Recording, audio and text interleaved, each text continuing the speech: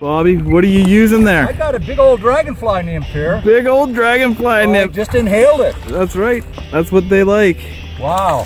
They like those big, big, it? fat. He bumped it a few times and then uh, he came back and inhaled it. There you go. Whoa, he's just about in the net. Is that net big enough, Bobby? Oh, you sure you don't want the long net? Here, I got a long one here. I'll swap you nets. Just lay it down beside you, and I'll just pass you this one. You got it? Yep. Yeah. I figured you're gonna want that longer net anyhow. There you go, baby. Oh, All right, yes. let's get the hook out of that big fatty.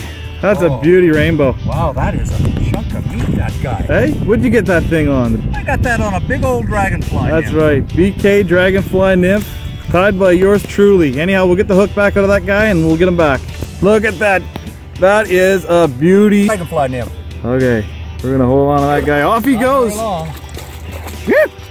Bobby, Whoa, let's nailed a, it. let's get a thumbs up, buddy.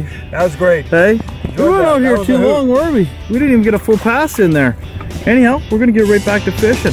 We're just getting started. I'm ready. All right, Bobby, back at it.